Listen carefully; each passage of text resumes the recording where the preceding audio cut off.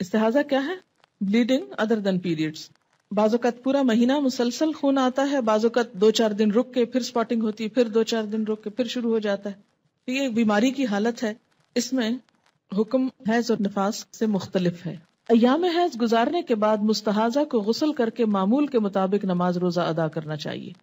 मसलन, एक खातून को सुबह आठ बजे ब्लीडिंग शुरू हुई और चौथे दिन आठ बजे वो बिल्कुल पाक हो गई। और यही उसकी आदत है अमूमन। एक दो घंटे के ऊपर नीचे फ़र्क से। अब उसने नहा लिया। जोहर पढ़ ली, असर पढ़ ली, मगरब पढ़ ली। कुछ भी नहीं था, बिल्कुल साफ़ थी कि इशा की नमाज़ के वक्त उसने देखा कि येलोइश डिस्चार्ज है थोड़ा सा तो अब ये सारा दिन पाक रहने के बाद अगर थोड़ा सा येलोइश डिस्चार्ज नज़र आता है तो ये कंसिडर नहीं किया जाएगा। दोबारा नहाने की ज़रूरत नहीं, नमाज़ पढ़े। लेकिन एक औरत अभी पूरी तरह पाक ही नहीं हुई और अभी डिस्चार्ज हो रहा है। रेड तो नहीं, लेकिन ब्राउन और येलोइश हो रहा है और अभी पाकी हुई नहीं।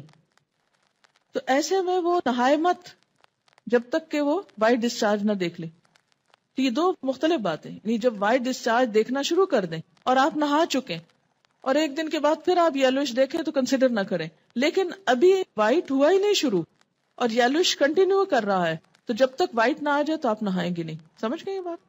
अगर आम हालात में नॉर्मल हालात में पीरियड्स की कंटिन्यूएशन में, जैसे पहले फ्लो कम है, फिर ज़्यादा हो गया, फिर कम होते होते ब्राउन हो गया, फिर येलोइश आ गया तो इसको सारा वक्त पीरियड शुमार होगा, जब तक कि वाइट ना हो जाए।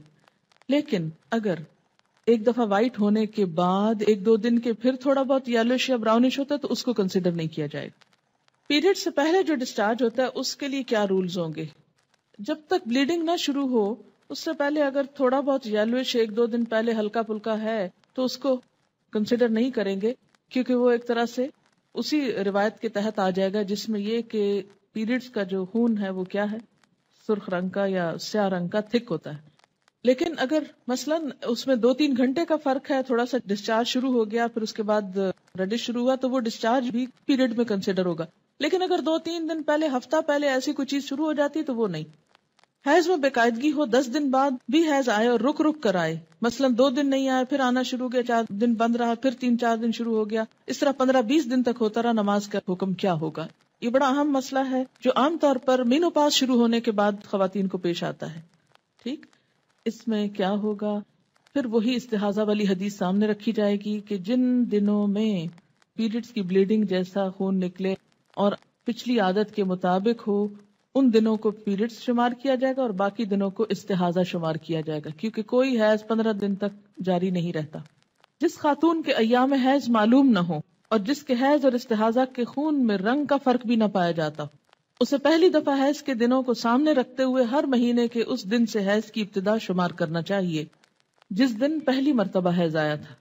मसलन किसी खातून को पहली दफ़ा महीने के सातवें दिन हैज़ आना शुरू हुआ तो उसे हैज़ और इस्तेहाजा में फ़र्क करने के लिए सातवें दिन से हैज़ के अहकाम पर अमल शुरू करना चाहिए।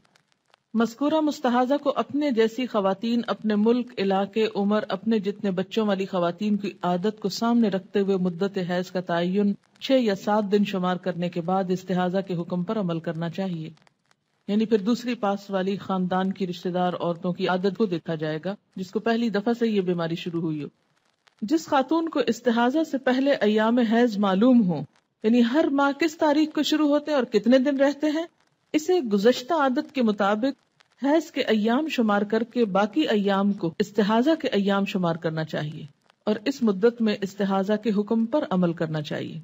जिस खातून को इस्तेहाजा से पहले हैज़ के अयाम मालूम न हो, यानी हैज़ में बेकायदगी रही हो, कभी जल्दी कभी देर से आते हो, या कभी पाँच दिन, कभी आठ, नौ दिन हो उसे हैज़ और इस्तेहाजा के खून के रंग में फ़र्क देखकर हैज़ और इस्तेहाजा के अहकाम पर अमल करना चाहिए। मुस्तहाजा को हर नमाज़ के लिए नया वज़ू करना चाहिए। ये अहम बात है। मुस्तहाजा गुसल करने के बाद तमाम इबादत मामूल के मुताबिक अदा कर सकती है। हज़रत आयशा रज़ी अल्लाह फरमाती हैं कि नबी अकरम सल्लल्लाहु अलैहि वसल्लम के साथ आपकी एक जौजा हालत इस्तेहाजा के बावजूद एतिकाफ किया करती थी। इसे बुखारी ने रिवायत किया है।